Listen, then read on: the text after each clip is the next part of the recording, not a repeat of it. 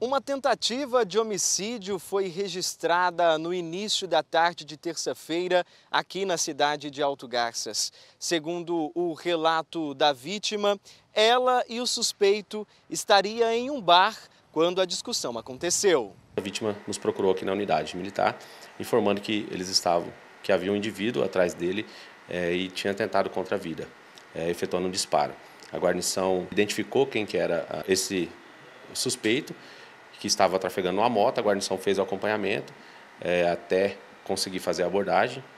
Depois da abordagem, realmente é, constatou que havia uma arma de fogo artesanal e dentro dessa arma de fogo, além dos cartuchos é, que estavam é, carregados, havia também cartucho deflagrado e também na arma um cartucho deflagrado.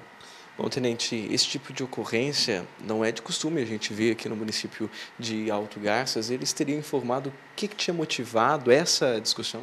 Sim, após feita a detenção e já na delegacia, a vítima relatou que eles estavam é, ingerindo bebida alcoólica num, num, comércio e, em determinado momento, se desentenderam e, e o suspeito é, falou para ele: espera aí que eu vou ali e já volto. E nisso ele percebeu que o suspeito poderia tentar contra a vida dele. Quando ele viu o cara chegando, né, ele saiu correndo, o indivíduo na motocicleta efetuou um disparo contra ele.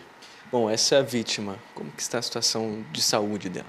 Ela não foi é, alvejada, né, então ela passa bem e o boletim de ocorrência está sendo registrado para providências da, da Polícia Civil. O suspeito encontra-se preso? Sim, está detido também.